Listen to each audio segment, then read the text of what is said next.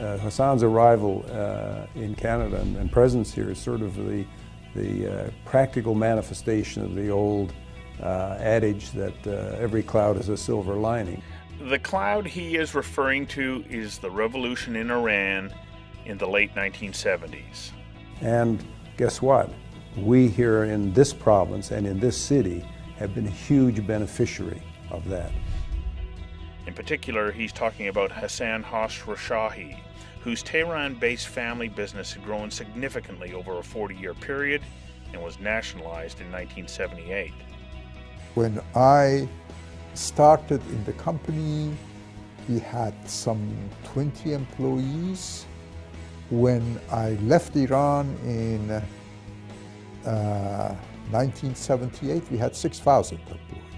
Forced out of his company and his home, Hassan and his family came to Vancouver to start again. But where to start? How to start? What to start? As is his way, Hassan researched opportunities and came up with two land development and electronics. The electronic business attracted me because there were two things. The business was growing, and as I looked around, I saw that the retailing of electronics was serviced very badly. In retrospect, it sounds like a good idea. However, at the time, no one was doing it. In fact, Hassan was told he'd lose his shirt. First, when I, uh, opened the store, I thought maybe I will open the store and nobody will come. So there'll be general laughter. so, and everybody in the business here predicted we are going to go bankrupt. That did not happen because Hassan had seen an opportunity others had missed. Adaptability and mental agility are two of his many strengths, and they were talents he needed to call upon to meet the challenges of the market he was creating. He was thinking with a different model. Then we decided to go to Ontario, and everybody said that, oh, that's a dangerous thing to do, and you are going to be eaten alive. And yeah, we started in Ontario, and fortunately, we were very successful there. Yes, he was. Future Shop literally transformed the way consumers in Canada shop for electronics, and they did it all with one of the biggest names in the business refusing to supply them.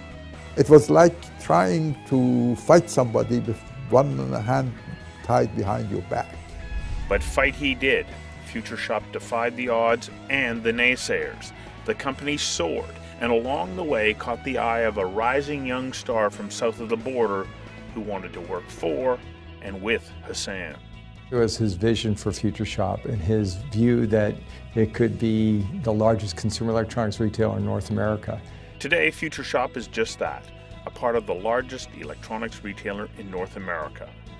The selling of Future Shop is further proof that Hassan is a man of vision. He foresaw the exact moment to sell the company to Best Buy, which kept the name because of the brand.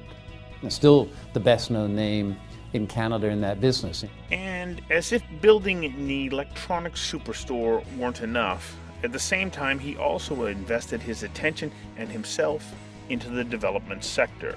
And Westwood Plateau at the time, it was the largest um, single residential development project in Canada, let alone in BC, a, you know, massive project. Massive and its success was uncertain.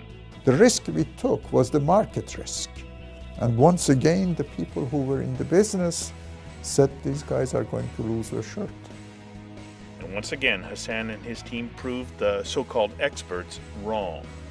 BC has been good to Hassan Khosrowshahi, and in turn, he has been a strong and generous contributor to his new home he gives back to the community, I mean, on many different levels. And um, whether that was creating jobs with Future Shop or creating growth uh, within that organization, or whether it's in our real estate space and building out communities, Westwood Plateau or Burke Mountain or even Predator Ridge, whatever space he's in, he's always there 100%.